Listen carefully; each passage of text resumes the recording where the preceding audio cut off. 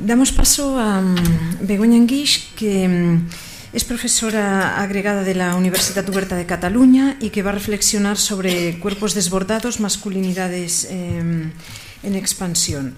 Mm, Begoña eh, es antropóloga, es especialista en género y cuerpo y sus últimas eh, eh, publicaciones son Cultivando Cuerpos en RDTP y Negotiation the Field en Qualitative Research.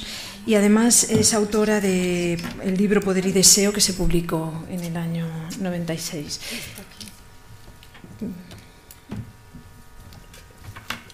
Había un pequeñito problema con la con la presentación que, seguramente ya se ha resuelto. Estamos en ello. Estamos, bueno, mientras se soluciona el problema con la presentación, disculpad. A pesar de trabajar en una universidad tan altamente tecnológica, yo soy absolutamente negada ¿eh? para cualquier cosa relacionada con la tecnología. Eh, buenas tardes, yo quería empezar agradeciendo, por supuesto, la oportunidad de estar aquí. Esta considero que es un poco mi casa, puesto que yo me licencié en la Complutense, cosa que llevo muy orgullosamente por el mundo.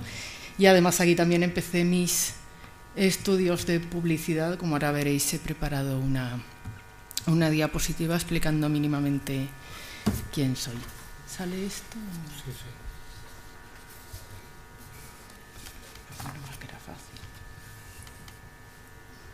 No sé qué. Bueno, pues abre la otra, Fran, no te preocupes. Abre la que había puesta y ya está. Ahora y siempre aquí. Vale, y este es el PDF, ¿no? Sí. Vale.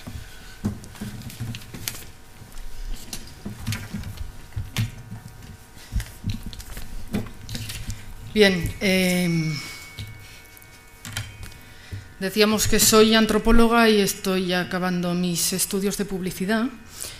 Y el trabajo que hoy les traigo pretende explorar las relaciones entre cuerpo y género y analizar cómo se construyen los discursos sobre cuerpos particulares.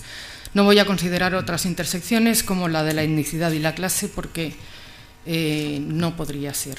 Este es realmente un work in progress, absolutamente real tan real como que yo les tengo que pedir disculpas porque no suelo nunca utilizar PowerPoints con tantísimo texto, pero realmente he utilizado el PowerPoint para ordenar mis ideas y por tanto eh, lo que ahora van a escuchar es una absoluta primicia, eh, preparada y espero que eh, preparada para esta ocasión y espero que tendrá continuidad.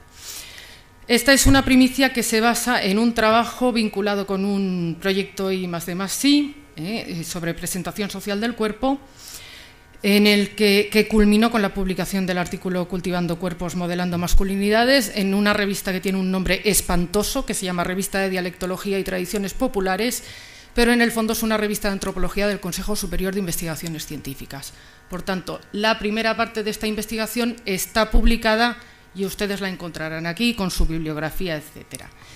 Y en esta primera parte de la investigación trabajé con una muestra de 10 hombres gays entre 27 y 54 años. En aquel momento ya planteé que esta eh, iba a ser una investigación sobre la relación entre género y cuerpo que yo quería ampliar a una población sexual y culturalmente diversa. ¿Eh? Esto lo he hecho utilizando, eh, utilizando es una palabra feísima, perdónenme, ¿eh? pero trabajando con hombres y mujeres tanto en Argentina, aprovechando una estancia de investigación, como en España.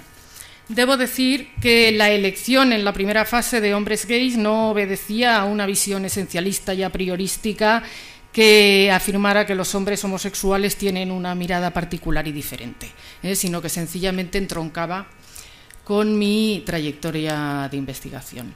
La tercera fase eh, que también está incluida en lo que hoy traigo. También está enlazada con un proyecto I de más sobre cuerpo y modernización en África, donde yo llevo la parte de género. En total, lo que hoy les voy a explicar está eh, basado en la muestra de 10 hombres gays más eh, cuatro argentinos, dos hombres, dos mujeres, cinco hombres y cinco mujeres españolas eh, heterosexuales, todos menos una mujer que se identifica como bisexual, y cuatro ciudadanos ecuatoguineanos residentes en Guinea Ecuatorial que se identifican como heteros con un rango de edades entre 30 y 65 años. Bien, ¿yo qué pretendía? Pretendía ver cómo se inscribe y cómo se performa el género en el cuerpo.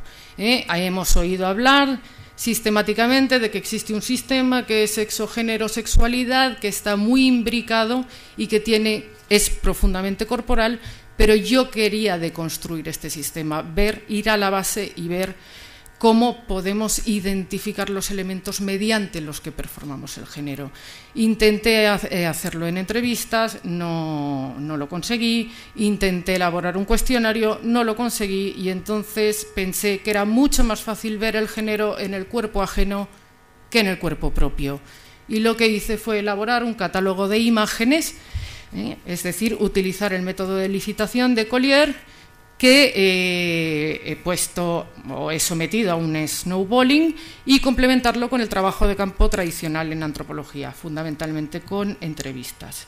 Este catálogo de imágenes consistía y consiste, puesto que no las puedo cambiar porque si no eh, me cambiaría la estructura del trabajo, en ocho imágenes eh, tomadas por mí en las celebraciones del orgullo, más seis imágenes publicitarias. Nunca se dice cuál es la fuente de las imágenes. En el caso de la última fase de Ciudadanos Guineanos he añadido seis imágenes de cuerpos negros.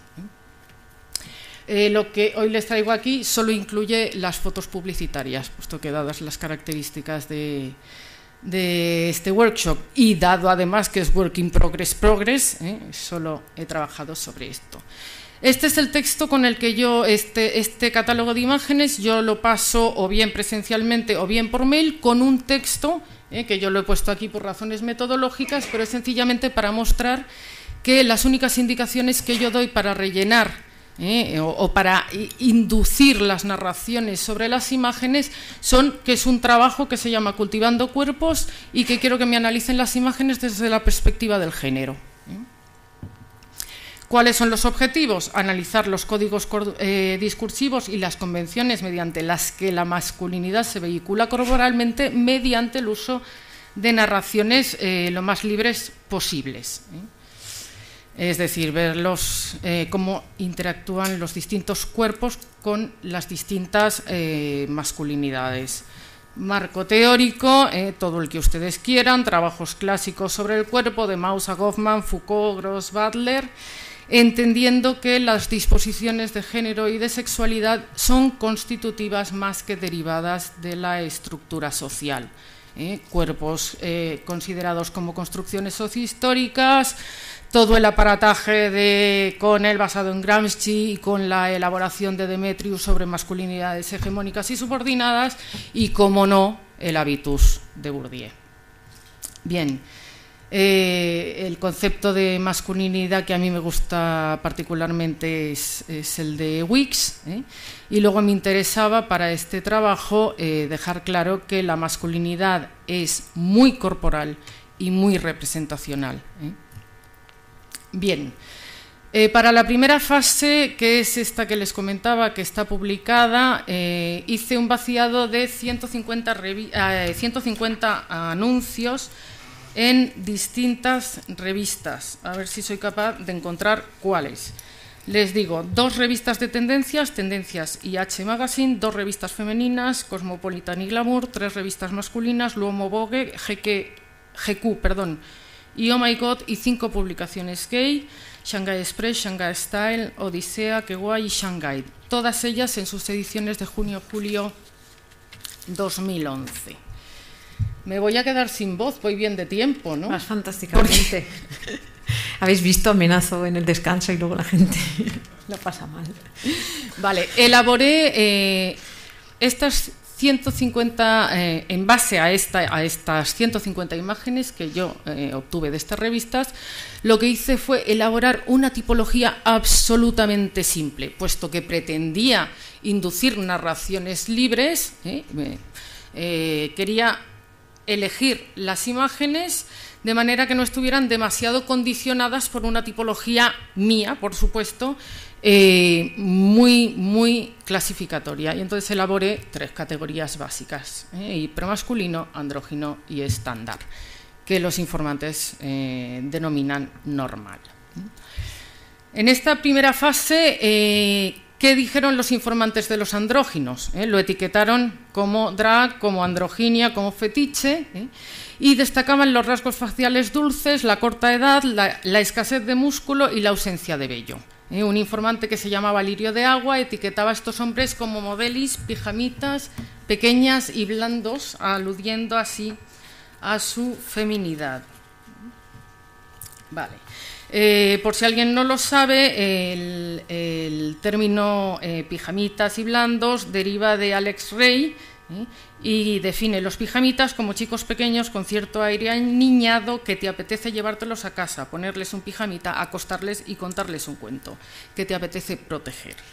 En contraste con los pijamitas, Alex Rey habla de los teostio, que son todo lo contrario, los chulos de barrio con cierta agresividad que inspiran cierto temor, bacalas, etc. Bien, este estilo no lo consideró atractivo ningún informante, ¿eh? y aquí tenéis una cita textual. La mayoría de los gays admiten no sentirse atraídos por gays tan afeminados, en mi caso tampoco. Incluso cuando combinaba un cuerpo leído como femenino con complementos militares, que había una foto del orgullo en la que había un cuerpo muy mm, andrógino con, eh, con, complementos militares, el cuerpo se superponía a los complementos y se obviaban sorprendentemente esos complementos. Y se utilizó extensivamente la etiqueta asexuado para referirse a eh, este tipo de presentación. Bien, ejemplo ¿eh? de anuncio publicitario que ha recibido la etiqueta de andrógino y asexuado en la primera fase de la, de la investigación.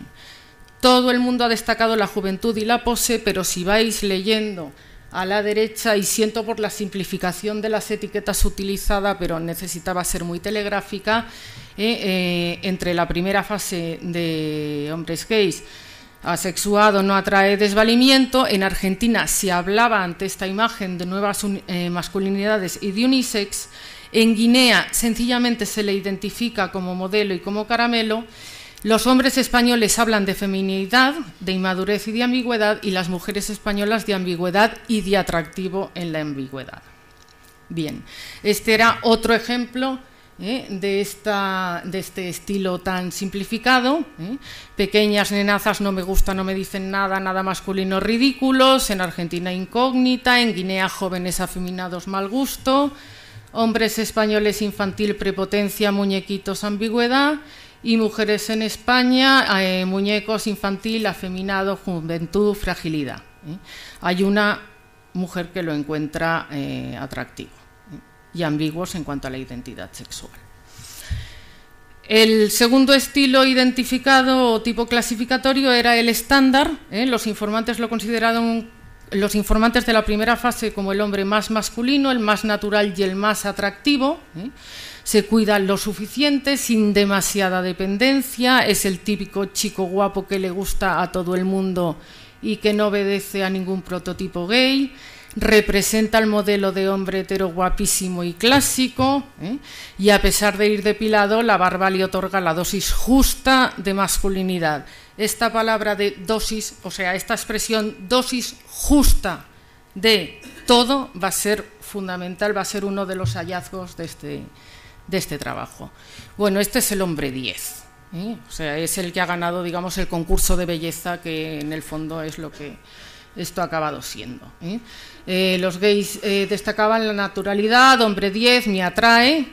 Ojo, esto es una nota de atención para mí misma, no es lo mismo decir es atractivo que decir me atrae porque esto también lo llevaré luego a, a, los hallazgos de este trabajo. En Argentina, en cambio, se hablaba de ideal femenino, en Guinea muy viril, sería un buen padre, esto me ha llamado mucho la atención, ¿eh? la transposición de, lo corporal a lo social. ¿Eh? entre los hombres españoles buena salud, bisexual, heterosexual, tenéis todas las posibilidades. ¿eh? Y mujeres españolas, sex symbol, sin apariencia gay, atractivo, todo esto es, no hace falta decirlo, textual. ¿eh? O sea que no os he puesto las frases enteras porque no tenía posibilidad, pero cuando esto lo publique lo tendréis con las frases enteras. Bien, ¿eh? los términos clave mediante los que se construye el atractivo parecen ser la naturalidad y la dosis justa, pero también la sonrisa y el contexto ¿eh? en el que está marcada esta imagen han sido importantes. Bien, este era otro de las imágenes que yo consideraba natural y que en cambio no ha provocado ¿eh? la, la, misma excitación que la imagen anterior incluso a pesar de su barba, que es un elemento masculino por excelencia, el contexto hace que incluso eh, haya hombres que hablan de que su postura es afeminada. Y por tanto, el elemento, la barba por sí misma es importante, pero en conjunción con otros muchos elementos. Nadie le etiqueta como masculino. Nadie quiere decir nadie. ¿eh? O sea, ni en España, ni en Argentina, ni en Guinea, ni nada. Vale. El estilo hipermasculino combina una valoración del cuerpo musculoso, ¿eh? considerado como cuerpo atractivo, que todos sabemos que es el estilo hegemónico de gay, que además entronca con las representaciones de la masculinidad de la antigua Grecia, aquí tenéis. ¿eh? Eh, los códigos discursivos y las convenciones de las revistas actuales refuerzan este ideal que evoca la fuerza y la dominación. ¿eh? Se construye a partir del músculo y del disciplinamiento del cuerpo y también del pelo corporal o el vello. ¿eh? Aquí tenéis una cita de un informante en la que va desgranando un poco ¿eh? cómo él considera que se construye lo masculino. Este es el estilo más deseable y deseado como y una vez tú consigues que vengan las musculocas y todos los demás vendrán detrás. Bien, aquí tenemos al gay, ay, digo al hombre, perdón, rudo, fuerte, macho protector, macho defensor, masculino, atractivo por la barba ¿eh? y con una enorme potencia sexual. ¿eh? La rudeza, digamos, es transcultural. En Argentina también se habla de la rudeza, pero en cambio dicen que este tipo de hombre que no, ¿eh? que ahora lo que se llevan son las gaicidades andróginas. Vale. Y bueno, eh, eh, los hombres españoles lo etiquetan como salvaje, como muy masculino, y las mujeres españolas me llamó mucho la atención la referencia a actores sobre todo entre mujeres, como ante una imagen masculina lo que buscaban era un actor que pudiera representar un modelo similar. Y este era otro ejemplo de hipermasculinidad, ¿no? que bueno está, ¿no? mirada torva y desconfiada. ¿eh? Los hombres en España, esto me ha llamado mucho la atención, dice cabello demasiado cuidado, ¿eh? mecánico no es, este no puede ser mecánico. ¿eh? Y en cambio las mujeres, fijaos qué, qué lectura hacen, esto me ha llamado muchísimo también la atención, vulnerable, recuerda a un santo por la posición de las manos, me dicen. ¿no? dirigido a hombres, y aquí este es el único caso en el que ha habido una mujer que se ha posicionado ¿eh? Eh, como sujeto deseante ante una imagen y ha dicho todas las chicas querríamos un chico como este que nos diera la hora cada 20 minutos. ¿eh? Bien.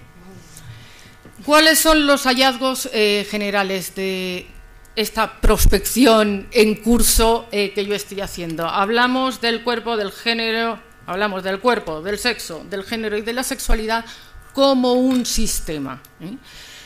Eh, ¿Qué es lo que yo he visto aquí? Que realmente eh, lo funcionamos con ese sistema absolutamente incorporado. Es decir, que cuando tú das unas mínimas normas de interpretación de unos cuerpos, el salto del cuerpo al género y a la sexualidad es inmediato.